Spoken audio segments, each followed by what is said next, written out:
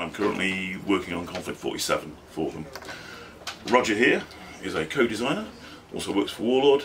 He's done Achtung Panzer most recently, ton of work for Bolt Action, ton of work for uh, Blood Red Skies, and we work together on directly together on Judge Dredd for the 2000 AD games. So I'll stop standing around and tell you what's going on. Um, well, I should just take questions, shouldn't I? That would be the easier thing.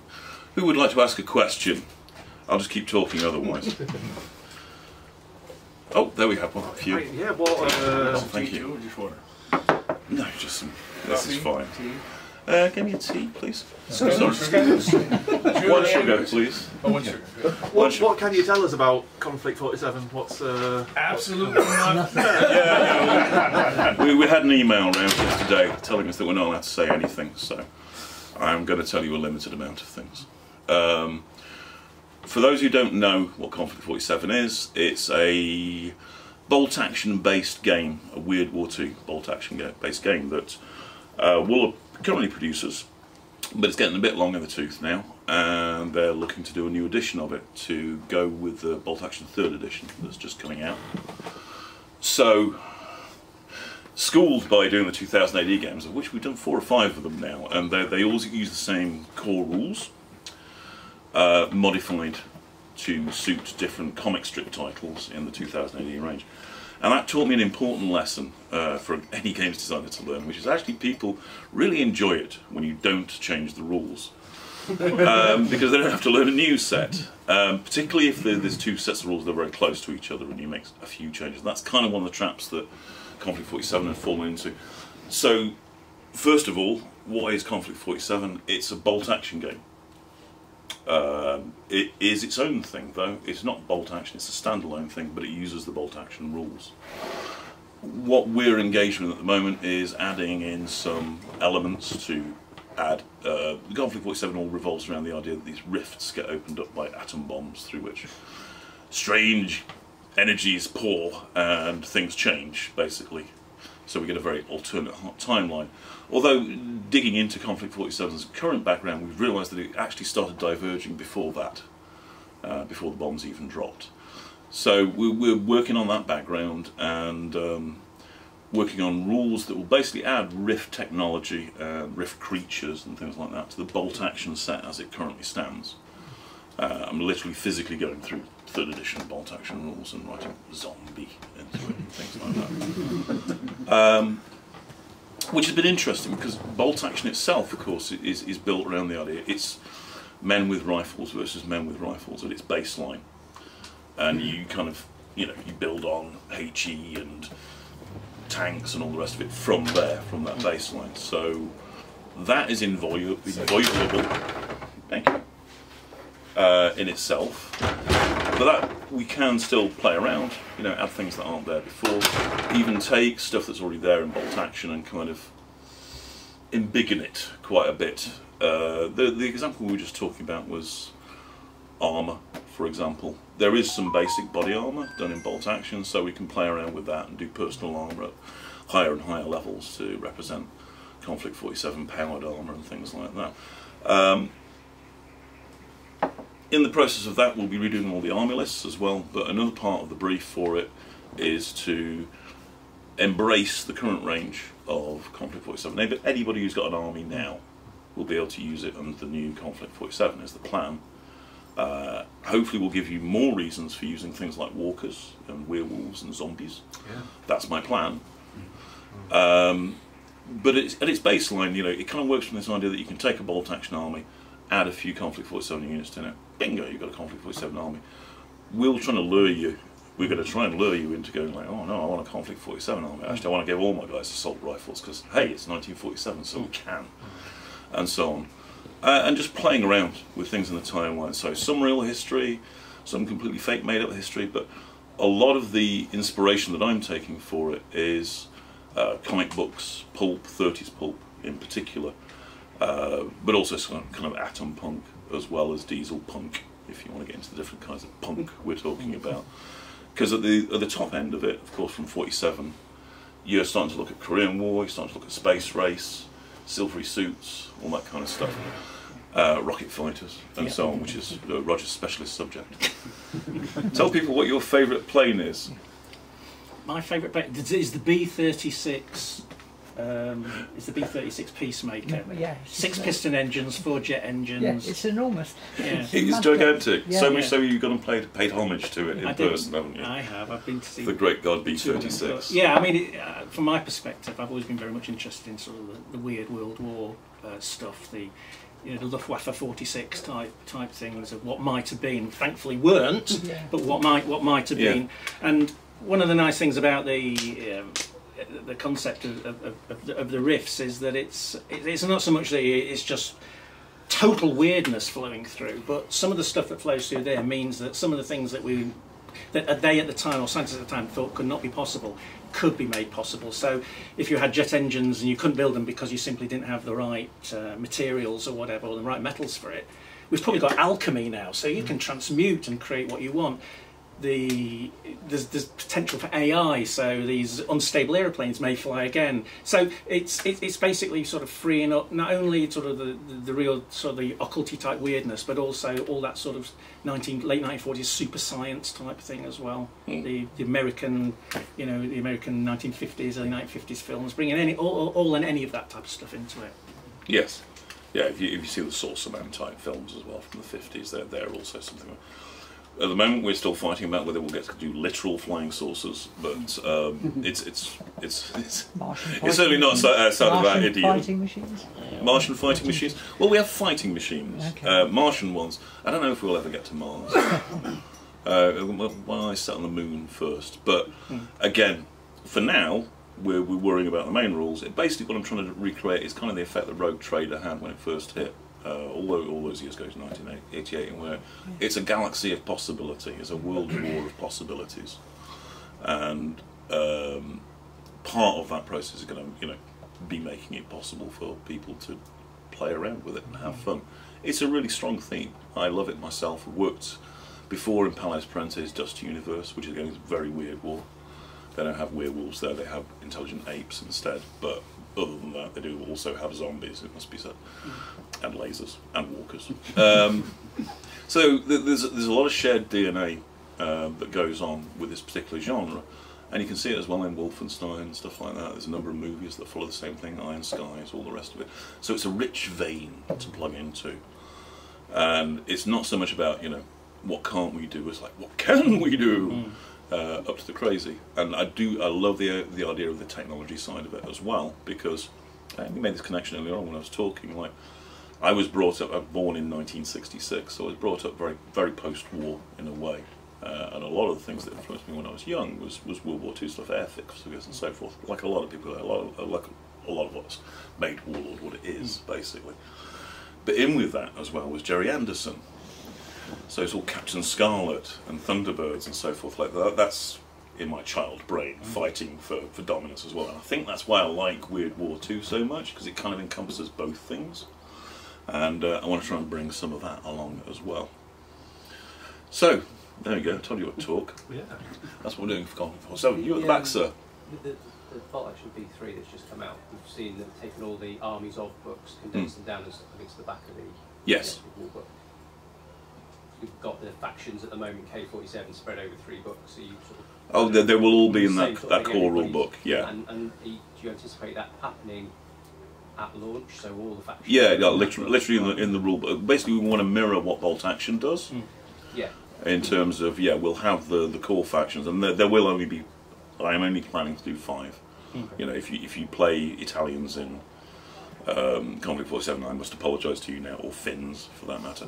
Uh, you will be getting rolled into the Axis along with everybody else, um, because that's the way we have to deal with it. Because we're doing dealing with five factions, so we'll have the U.S., Commonwealth, the Axis, as it will be, uh, the, the Soviet bloc, because it includes China, and Imperial Japan. Yeah.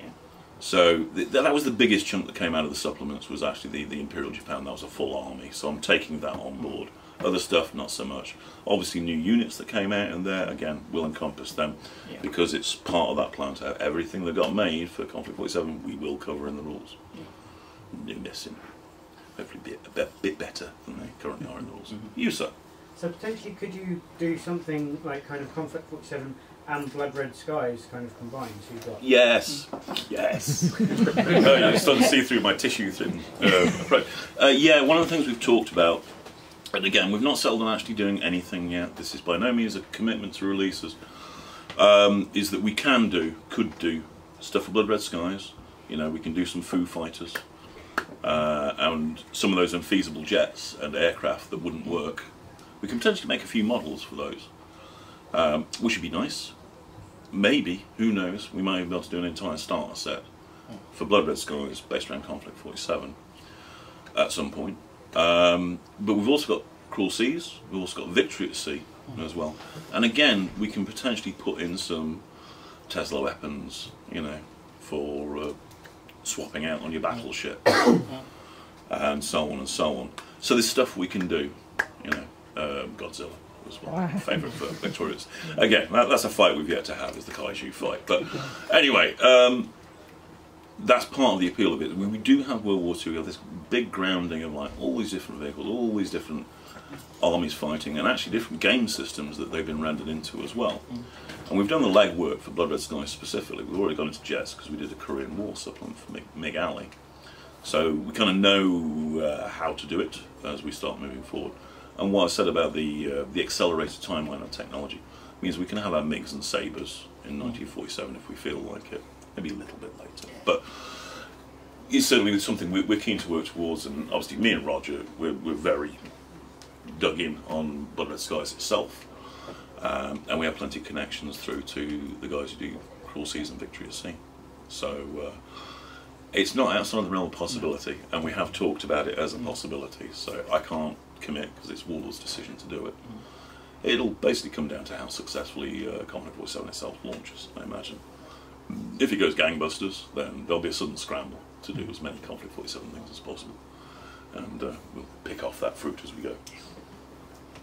But uh, I say, maybe, maybe, I'm hoping it'll be fun. You sir, at the back there. Oh no, you, we've had one from you. I'll just take this guy first. How far in the timeline do you think K47 could go forward? You know, could we get things like Vietnam and, and Gulf style equipment? It starts to diverge um, earlier than that, and whether we get to Vietnam per se, probably not, because we will never end up with a situation like Vietnam in this war. Just like we won't actually end up with a, a Korean War in this timeline, because the World War is still ongoing. Now they might fight in Korea at some point, Vietnam. Yeah. Korean conflict, yeah. Yeah. um, but there won't be a Vietnam War, and they might have helicopter gunships at some point. I want helicopters, But there won't be. Yeah, if that's what you want, then maybe. I mean, they, they, again, they were flying around helicopters at the end of World War Two, Yeah. uh, and they used them in the Korean War in a limited capacity. But a lot of development got killed off by the end of the Second World War.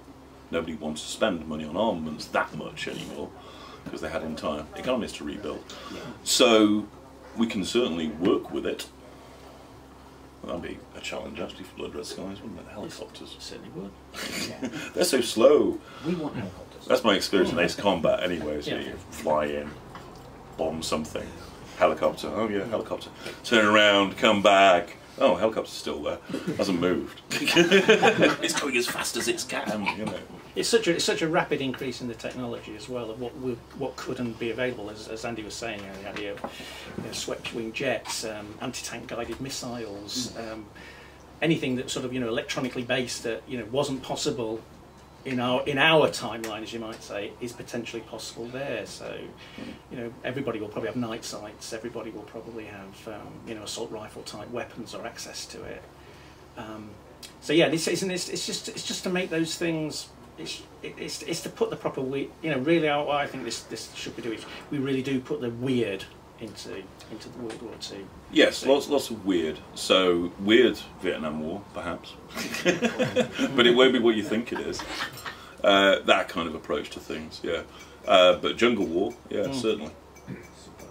uh, and so on and so forth. So we can take inspiration from all, all sorts of points in history uh, and fictional places. That, this is the glory of it. It's freedom, really. Historical's nice because it gives you a nice solid grounding in things, but it also tells you how things are. And we're not bound by that so much in Konflikt 47, which is, is honestly where I'm used to being, so it makes me happy. It's true. It's true. Just make things up and try and make them work against each other and not make people want to murder each other in real life. It's, it's simple. So, sorry, sir, you at the back, you had a question. Um, So you said that you're going to carry on all, all the units that we've got. We're going to be able to use. hmm What's your both of you? What's your favourite Konflikt 47 unit, fluff-wise, or not necessarily game-wise, but something you think is really cool? And also, which one did you look in the book and go, "I wish you could have 43? Uh, look in the book and I wish we didn't have it. Mm, Italians, probably. if I'm honest, like two units, like Italian powered armor. Sorry, Alessio, that wasn't pointed at you. um, and some Italian jump packers. It's like, why even bother? So that kind of dispersion of effort into minor things. Um, the thing I like the best in it is actually the walkers. I think there's some really solid walker designs. The multi-leg ones aren't as strong. Um, they could do with a redesign, but the, the two-legged walkers are just solid. They're nice designs, and I say that as somebody who worked on Dust with beautiful, beautiful two-leg walkers. So that's pretty good. Yeah, they're my favourites. Um, in game terms, at the end of the day, it's a tank with legs, so I mean, not that much of a challenge doing the rules as you might imagine. Uh, so in game rule terms, the thing I'm enjoying most is probably eh, I don't know. Actually, it's a toss-up. Rift weapons is interesting, but the actual units like werewolves and stuff like that is interesting to try and make them work in bolt actions. So, but that's not really what you're asking overall. Would I have an army of werewolves? Probably not. Would I have a, an army of walkers and powered armor? Mm, probably. Yeah. Rule of cool. Yeah, rule of cool, absolutely. I always like the heavy armour types, and Word Warrior it just works for me. I'm a big Wolfenstein fan as well, of course. So we've ended n- endless numbers of them. Mm, my favourite, my favourite, I think, are the um, are the British, like the automated infantry and the like. I Yeah, like they it, are. yeah. They are neat, actually. I, I like them too. It's very sort of Sky Captain World Future. Yep. Yeah, that, that, that type of thing, and uh, this whole idea of sort of really clunky, clanky AI, and um, I, I, I just like I just like the look of the look of those things very much. Um, I'm not too keen on the on the German super soldiers. They just look weird to me. Um, Well, sure- like the werewolves and well, no, those those the wingy the wingy wingy. Sh- yeah, yeah, they're them, yeah, yeah, yeah. They, nah.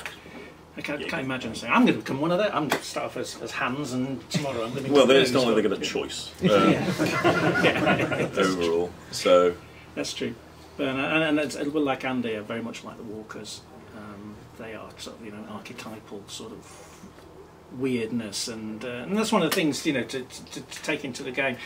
You know, um, what makes what, why why why are walkers so successful? You know, why why does everyone have walkers now and, and not have more tanks? So it's sort of you know doing the various things and the rules and whatever that makes it. You realise why those why they are preferable. You know, whether it be in a mobility or whether it be stability of shooting or, or whatever. So yes, they have advantages Yeah. basically. And yeah, yeah, they wouldn't work in the real world. Guess what? We're not in the real world, Mm. so we're not bound by those rules. And we have super good alloys and powerful engines and power sources and all the rest of it to make it work. Um, that being said, you know, fortunately we have a, robust set of rules that covers vehicles very Mm. well. So vehicles will still be a, a perfectly viable option. Uh, they'll do their job just as they do in bolt action. It's just walkers do it a little bit better uh, overall. So it becomes more of a stylistic choice. You, sir, you get your hand up. Um, thanks. I think you sort of touched on it a little bit with uh, the challenges of incorporating things like the werewolves. So Hmm. you talked a lot about the technology uh, Hmm. uh, that's going to be available, or the, the Rift technology, um, and certainly you know having more widespread armour or different armours, etc. But how do you plan to incorporate the more sort of tooth and claw foot troops into that world? Because they seem outclassed. Very at odds. Yeah. mm. Yeah, Yeah. It, it's Well, they're, they're tricky, and Konflikt 47, as it currently stands, kind of struggles with them a little bit. One of the things I, I when I went through it, the thing I, I disliked very strongly in the army list was the fact that they end up with like a, a big stack of special rules attached to them, which also aren't explained in the army list, and just send you off to actually several different places to try and find out what they mean. Um, so I'm trying to move away from that a little bit with limited success, it must be had. They, they do need several special rules to make them work, but with the right special rules, I think we can. Um, making them tough enough is, is the biggest thing overall. But I mean, bolt action works off a damage value, so you can just assign them a damage value of more than six, and suddenly they become a lot tougher, and so on and so forth. So I don't want to get into multiple wounds for them necessarily. But yeah, that, that's that's under under works at the moment about how we handle things like zombies, uh, Jaegers, werewolves. It's all bloody Axis stuff, really. Oh, and, and Japan they have zombies too. Um, they are kind of this. They're a, a separate thing, but within that, there's also the Paragon stuff as well. Um, the patriotic daughters, the daughters of the revolution, whatever they're called, um, and so on. So there are a few other what I'm co- terming rift units uh, in other armies. So basically, a big chunk of the bolt-on rules that I've been talking about that work with bolt action are introducing rift units and how they work and what makes them special. And they share mechanics. Well, the, the, you know, some of it mechanically is shared with rift weaponry as well, things like Tesla guns. So, um, and that'll, that's something additional to bolt action. That will be an extra set of rules to learn, but not too cumbersome, hopefully, is the plan. And that should give me enough extra levers to pull to make oddities like those and potentially others as well along the way. So yeah, that, that is that is the thing. That's the main challenge actually within it is making them work properly. Yeah, because the, the, weird, the weird, the weird is to include both, as you say, the technological type advancements, but the, the missing part in some respects currently is, is, is, is the other weird, almost like the occult weird. What what what is it? Well, you know, what is it that drives the Yeah, this the, is it. We've got gothic, gothic horror elements running around. You know, we've got literal undead and um, werewolves, so that's part of it. You know, we're not going to exclude that, and it's going to be worth taking and important and powerful. Um, and that is a bit that kind of can't work exactly like bolt, bolt action because that works on men with rifles as, as a baseline, and they're not men. They become not into something else. So yeah, that's something we're working on, uh, and we'll be testing as well. Something up to like, you know, a Tesla where can fight with a set of fangs. Yeah, well, in, in some ways it's there for rift weapons as well. The, the, the, one of the difficulties at the moment with the, the current Konflikt 47 rules is that Tesla guns are kind of like, oh, it's, it's a decent anti-tank gun, Mm. is really what it comes down to. And um, I'm trying to make them a bit more than that, uh, potentially, but also a little bit more unpredictable and things like that. Well, no, that's not true. Not unpredictable directly, but labour intensive, shall we say, Mm. in terms of management. It's, it's, just, it's put those little traits and differences into them. That, as Andy says, it just it's not just a. I'm taking a Tesla weapon, so oh, basically that's just swapping around a few stats, and it just becomes like a you know a, a Pak 40 anti-tank gun or, a, or, or, or an 88 or something like that. But those little nuances that, that actually you know against the weird part of it. They, I mean, I think the thing that's said about the, with the Konflikt 47 units is that you know they've got to be better than the World War II units, and so you know, we want to do that, not just you know, just upgun them, upgun them, upgun them without any explanation behind it, but put something in there that actually sort of thematically. So you say, you know, this is a not only is it Tesla, it's a death ray. You know, this is, you know, this is this can carve a tank in half or something like a tank in half. It's that that sort of future shock type thing. Hmm. which is part of what will lure you eventually into having more and more of these units in what you thought was just a bolt action unit, an army with a few Konflikt 47 units, and then, oh my god, I've turned around and now it's an entire army. That hmm. sort of stuff. Yeah. Hello? Yes? I mean, picking up directly on that, because I Mm. think one of the things that certainly we found with the first version Hmm. was that the weird stuff, the rift stuff, was competitively, at least from a strict points efficiency point of view, Yeah. it really fell behind the. It's weirdly World underplayed. stuff. I, I couldn't quite understand why they'd gone to the trouble of putting it all in there and then made it so vanilla tasting, Mm. If you see what I mean. The background suffers from it as well. I mean, I don't, I don't want to be critical of the guys who, No. who did this because they, they wrote a load of stuff and it's no small thing Mm. to, to create a book and a couple of supplements. Um, but it, it's like they made the decision to do it and then they kind of pulled back Yeah. from wanting to be too weird with it. They're like, oh no, we don't want to be that weird. And yet they still have zombies and it's very strange. It's very strange. It's very conservatively written. Uh, it's suffice to say, uh, and that includes in the rules aspect as well. Um, those of you who know my work know that I'm not a conservative rules writer overall. Quite notorious for it, actually. So uh, I'm just laying my freak flag fine on that front to a certain extent. And I've told my playtesters it's like it's it's like serial killer stuff. Somebody stop me. basically. and if you don't, then it'll go in like it is. Um, although we've got a very small group that we're talking to in, in the first term who were super volunteers. Their, their first response when I showed them some of the things I was thinking of for reviews was like, it, it's not competitive enough, it's not good enough, basically.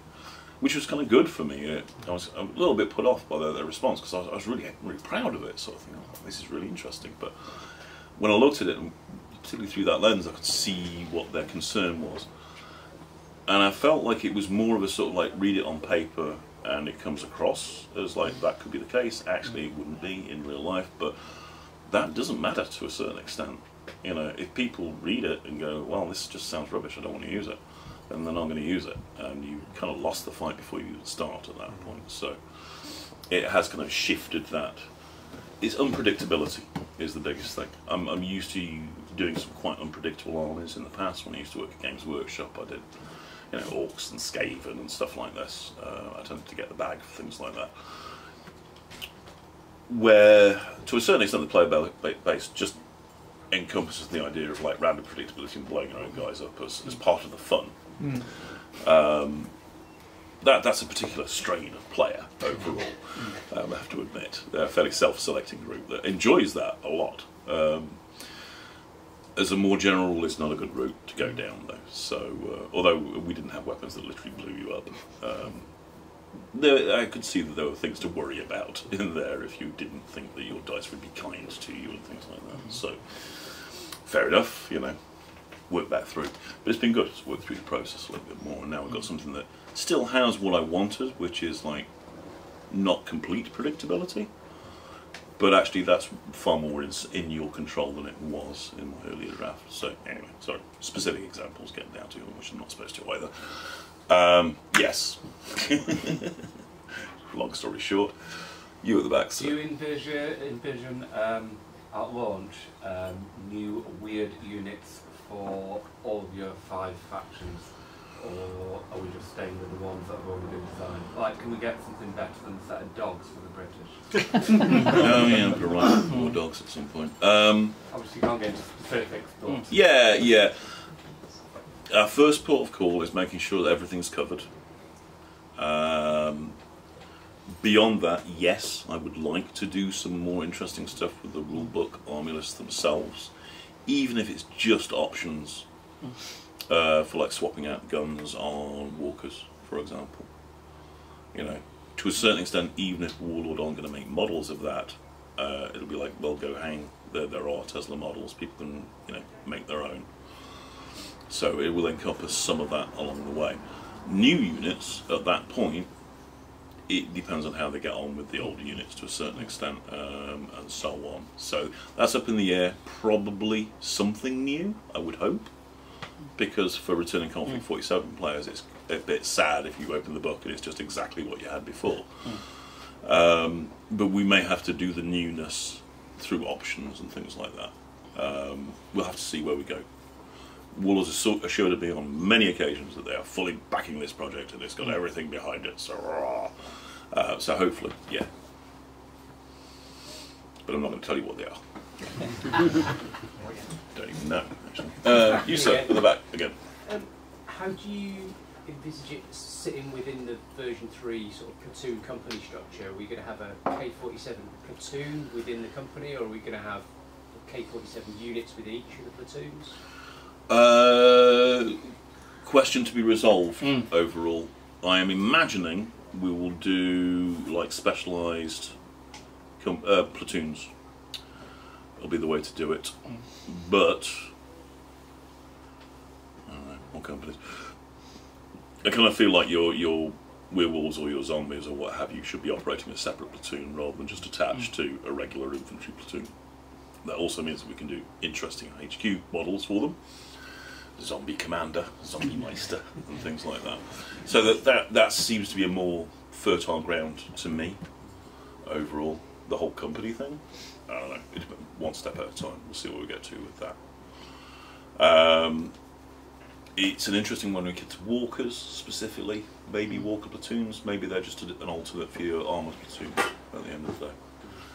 But yeah, I want to I want to em- embrace the structure that's there uh, and build on it, and basically put the platoons or as uh, as their own distinct platoons. Because I say with some things like I don't know jump troops maybe and powered armor, you could see them going integrating more into the existing platoon structure.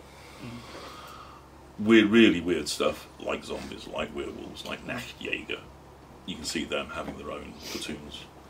Uh, and in some cases, potentially both. I mean, we might have powered armour platoons, for example, but also the possibility to have a unit or whatnot, uh, or two of platoons uh, in your regular infantry platoon, just as seconded from you know division or what have you. You could have, for instance, you know, like like a specialised jump jump platoon, which you know incorporates jump jump infantry, but also any jump capable walkers as well. So Yeah. there's like sort of a deep, don't use the word deep striking unit. You know, it's uh, So uh, we're only st- starting to scratch the surface on the army lists themselves at the current time, um, but certainly, like everything else, the Bolt Action Three f- forms the model for it, and we will conform to that as best we can. Is there a ballpark timeline? We know Hey, so what? Is there a ballpark timeline? I am not allowed to tell you anything about timelines. That's an easy way of dealing with it, isn't it? Uh, I can tell you that I'm working on the rules right now. Uh, me and Roger are working on the rules right now, and you might have seen that there's been announcements for the. I've gathered together a little writing team from some old familiar faces to me, at least. Uh, some of them very old, actually. Um, and we're working away at the moment, and I don't generally pick some up and, something up and start working on it unless I have a plan to end it in end it all within a fairly short time frame. It's rare that I just kick things around for a long time. Uh, we actually started a few months back on prep and things like that, so we're on it. Um, Warlord does miniatures, Warlord does art, Warlord does layout, so that's on their timeline, and I can't speak to that at all overall, but kind of sooner rather than later.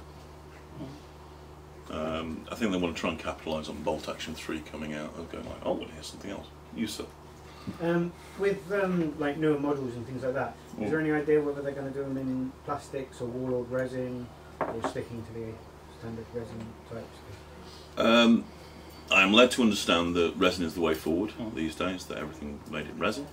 So any existing metal models will probably be remade in resin instead.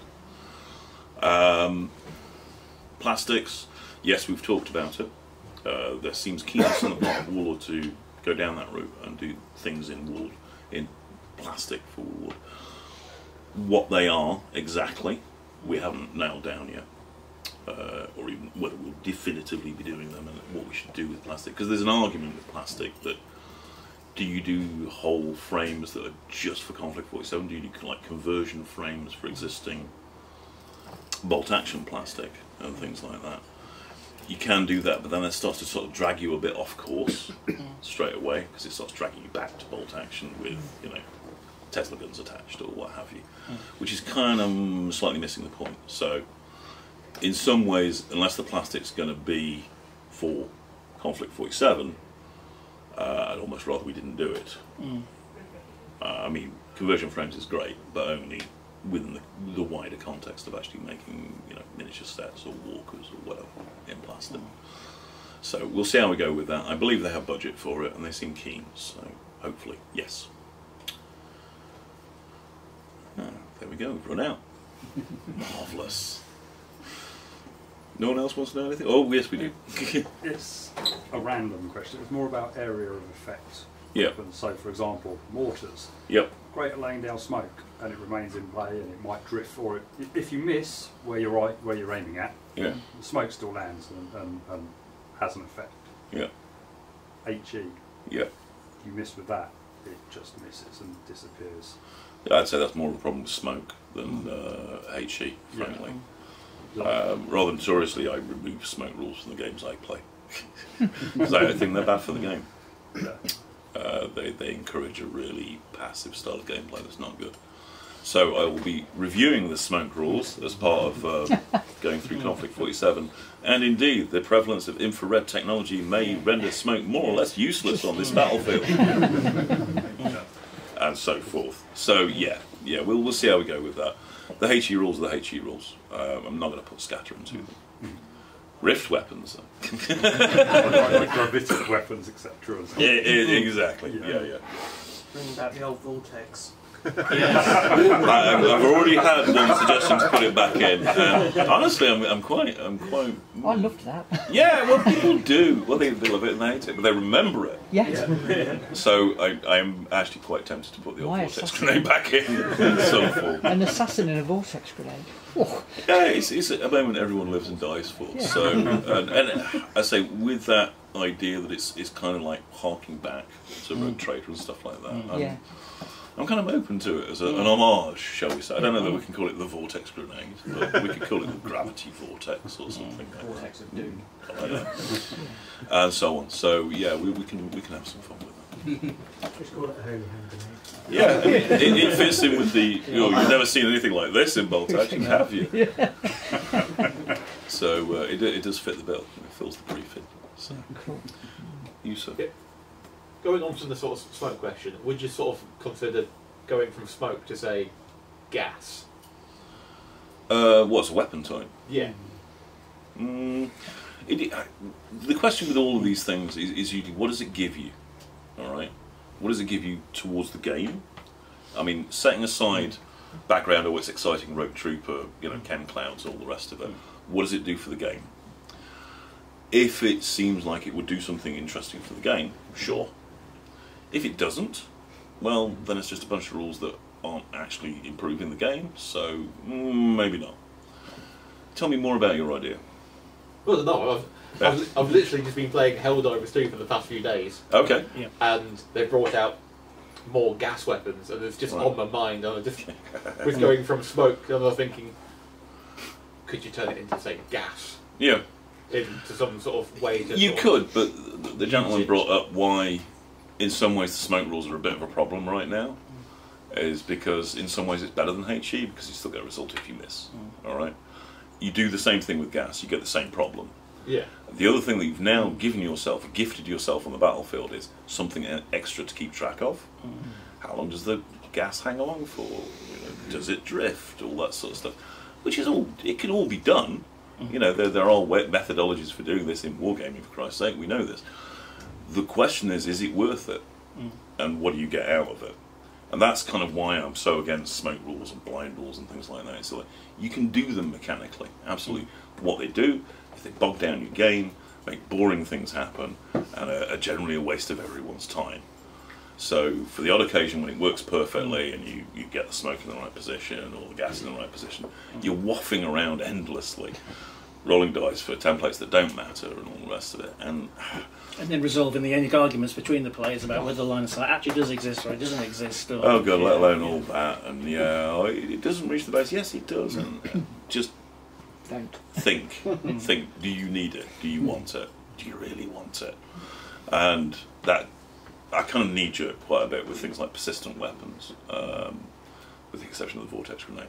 Um, well, it's, a, it's an interesting edge case because what the vortex grenade does is it doesn't do the oh you can't see quite as well if you're in us or you know oh now you need to take a test or get poisoned. It kills you if it lands on you. You're gone. Yeah.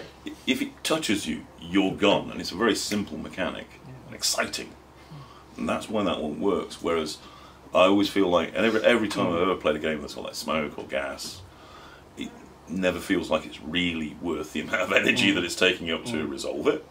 So uh, I tend to be a bit like, "Nyeh." unless I unless I decide it's there for a reason that we want it. Some persistent weapons, like it leaves something behind and oh, danger if you go close to it. That is something I've been thinking about for mm. rift weaponry. Yes. because obviously, with it being alternative, you can go a little bit more war crimey with some of the weapons. Oh yeah, yeah, yeah, yeah, yeah. You don't have to worry about. Oh, yes, yes, they will be very war criming. Um, but I mean, it's you we've literally got zombies running around already. So the uh, the definition of what constitutes a war crime, I mean, it's World War, post World War Two. And Anyway, obviously, the morality is going to be a little bit different. Mm, yes, yes. So, mm, yeah. I was just going to say, it's interesting you mentioned uh, Rogue Trooper there, because that's a Yeah. sort of notable absence from the 2000 AD. I know it's one we've talked about before quite a lot.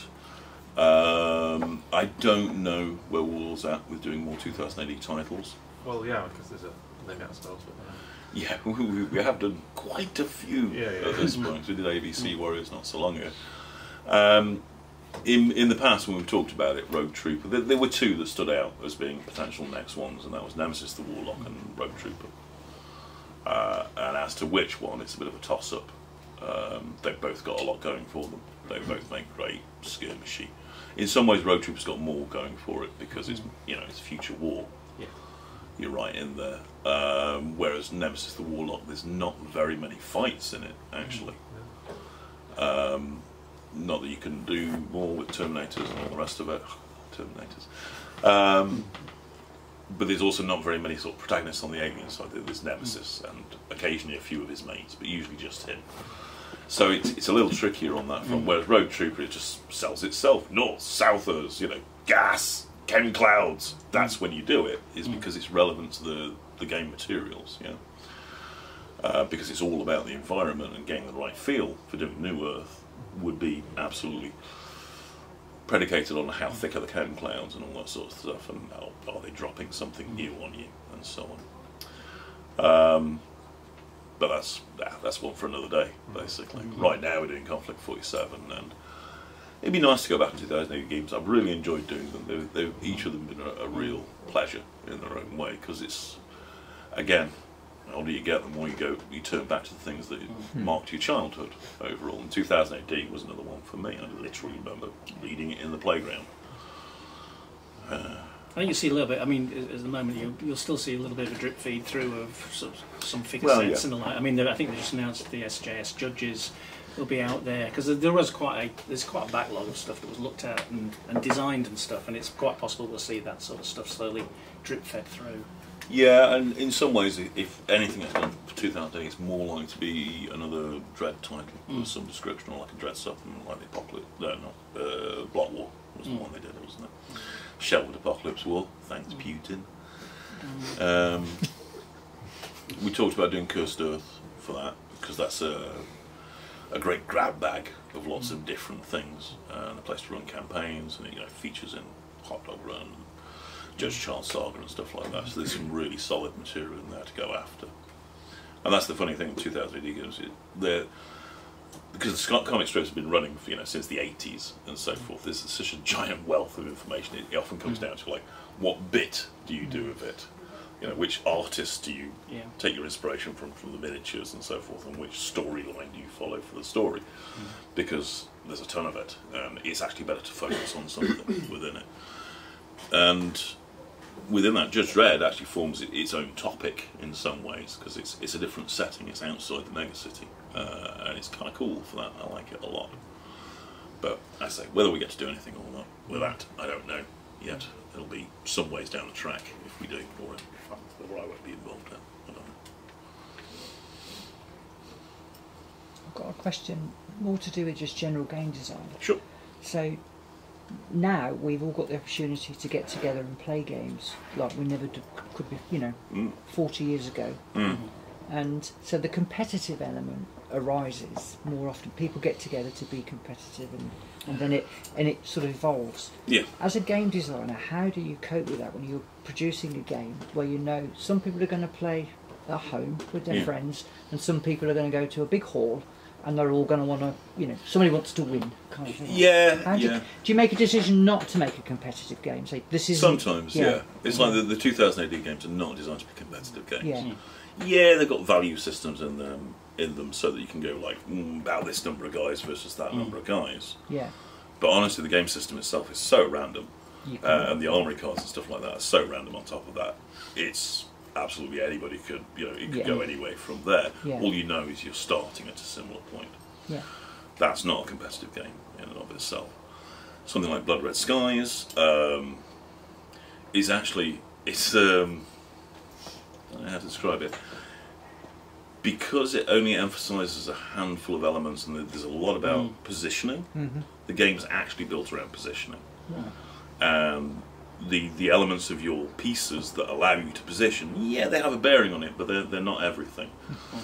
So within that, it's quite simple to make it competitive because everybody just runs off a similar set of points values. You know, we assign values to the stats, we assign values to the traits they have, everyone's got the same points value. Everybody pays the same for cost for their pilots. Mhm. There's no army list per se at all. Right.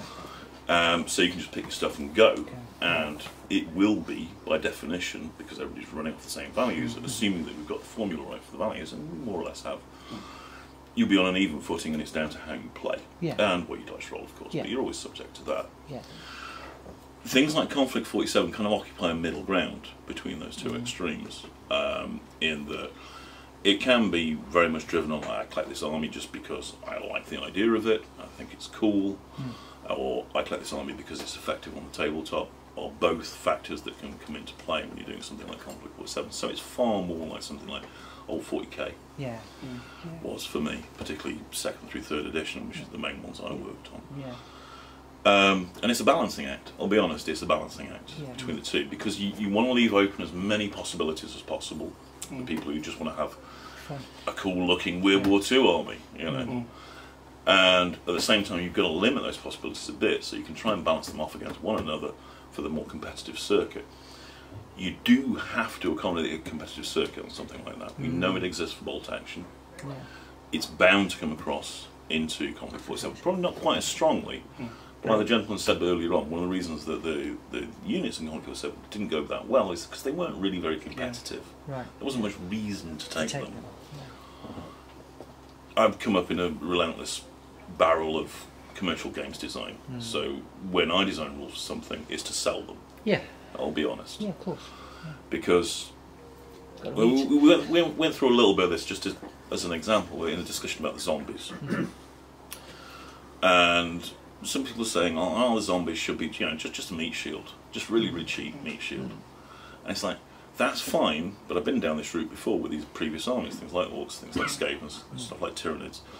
And the problem is you're spending nearly the same amount of money to buy those cheap meat shields as you will be to buy something far more effective. Yeah. So guess what people do? Yeah. They buy the more effective thing. They've got a limited amount of budget, they've got a limited amount of painting time, so they're not going to get. A, some of them will, God bless them, but most of them won't. Yeah. So you know that. So you may know to make the, the zombies damn hard, ridiculously tough, comparative to a man with a rifle, because they have to be. Yeah. They don't have range. They're slow. They've got to run up to you and bash you on the head. So they've got to be very, very good. And that's the kind of philosophy I have through all of it. And I just have to say, trust me on things Yeah. like that Yeah. because I do have a lot of experience with it. Cool. And we will do testing as well. That's the other thing you can do really easily these days. You can test the bejesus out of things. Right. Um, you can get together an international group without too much trouble. Mm. Uh, put the rules out to them and get their feedback. I mean, hell, there's guys who do it professionally these days. You can Really? pay them money. Yep. Wow. Yeah. Well, plus the other thing is uh, there's stuff like Tabletop Simulator, Yeah. where you don't even need to physically get together. Yeah. You can play games on Tabletop Simulator or what have you, which is there. I believe Bolt Action's been done for it. Right. So it's not a difficult thing to actually play games with other people online too. And you can do anything you want. with it. Yeah, absolutely. and You can take any forces you like. Yeah. Uh, and that removes some of the problem that you get with playtesting as well, because, well, you know, you, you can go like, oh, yes, this is a walker, and so forth. It's always a bit unsatisfying, and it's also a little bit off as well. It's not quite the right size and dimensions, so it's, mm. it's always much nicer to play with some either the actual models or something that's a very close proxy to them, and that's not easy for everyone to produce. Either they can't just pull out their asses. Yeah.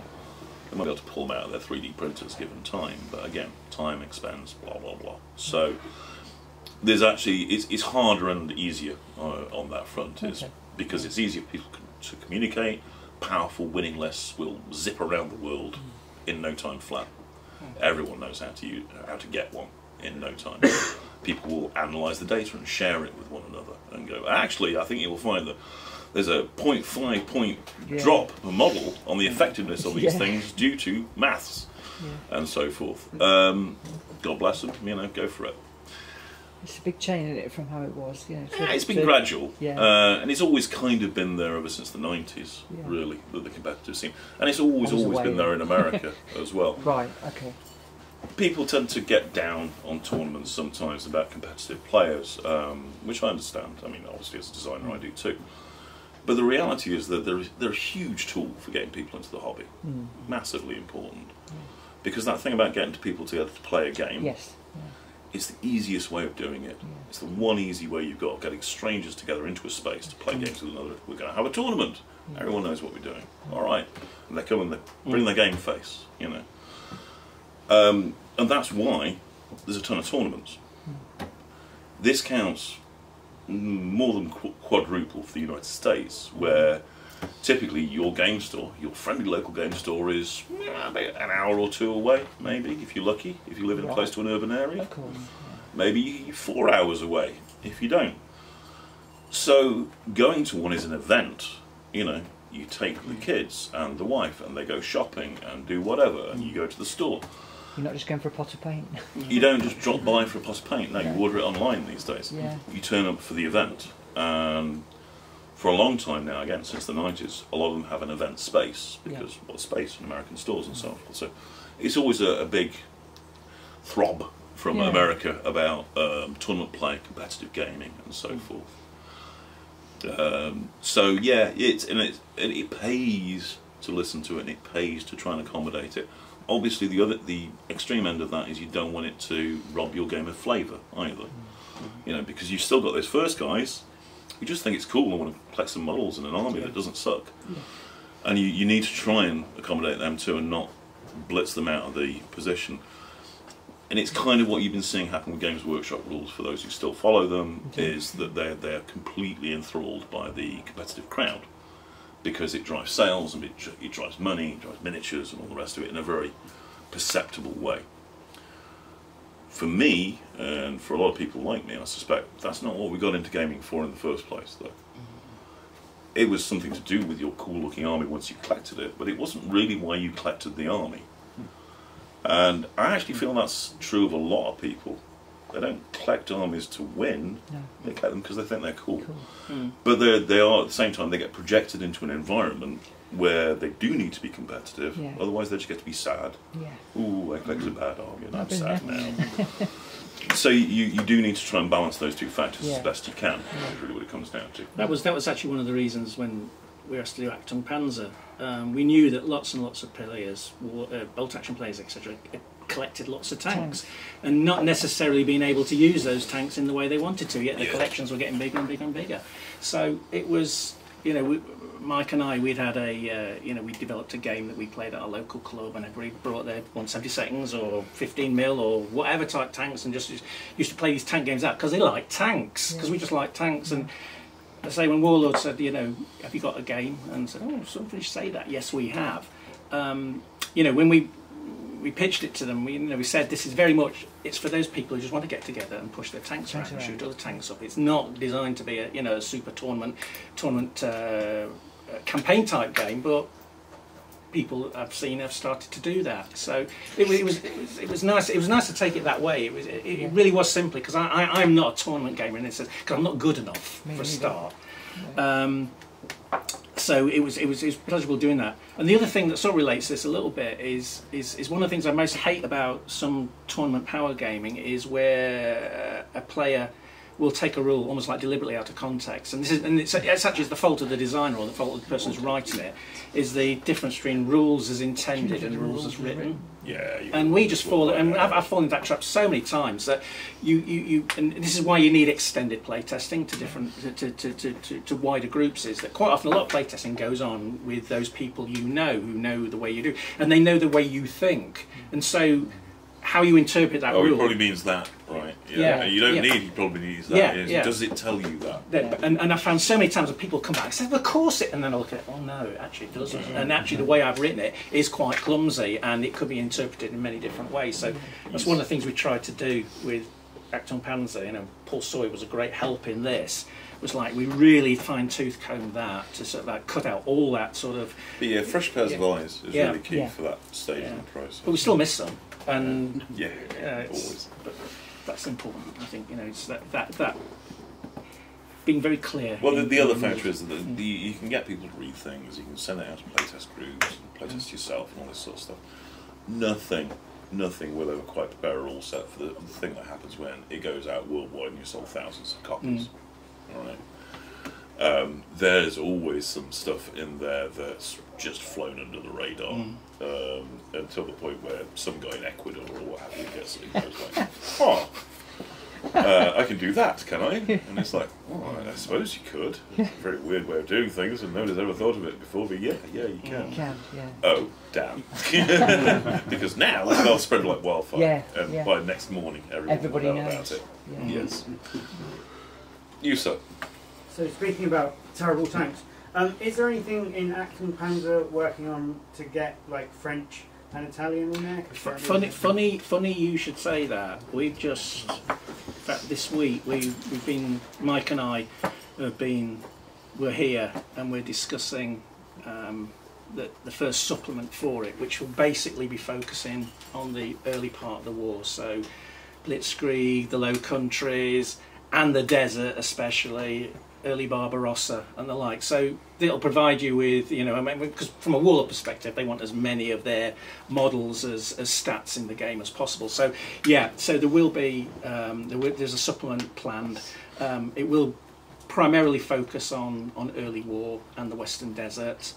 Um, it will have obviously the stats for all those tanks. It will have asset cards and um, to relate to the supporting of those, know, of the French, of the Italians, early British, early Americans, and the Japanese. We'll be bringing the Japanese in as well. I mean, I know there wasn't a lot of great deal tank combat unless you talk about like Saipan or something like that. But you know, we, we wanted to allow Warlord to, you know, or people who own those tanks to to, to, to use those um, event cards that sort of take into account those specific theatres.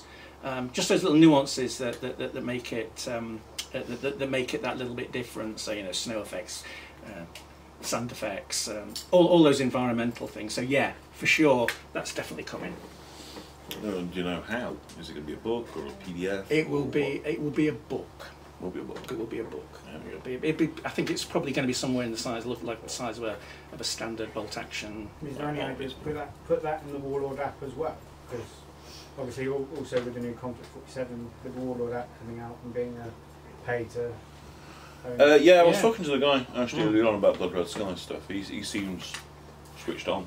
And yes, yes, he wants to do everything eventually. Um, Achtung Panzer, I don't know how involved it is, but I would imagine so. I I mean, it'd be, it'd be quite easy to plug that in in comparison to something like to something like bolt action. So yeah, I mean, I think it's it, it, it, it's a question of Waller's own bandwidth of them getting round to be able to to talk to the right people But at the right time. It's, it's one of those things where people using apps to build their army lists is something that's become standard now. It is uh, a fairly key feature for a lot of people. It's like, is there an app for it? Mm.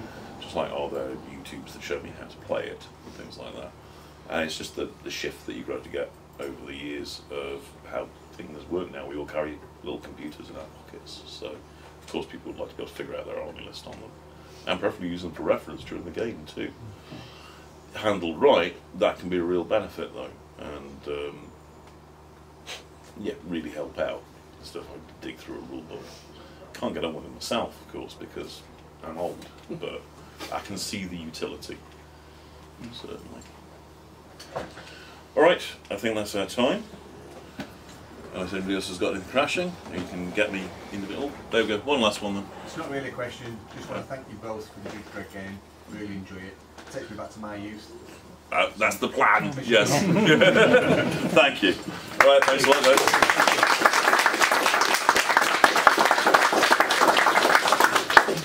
Yeah.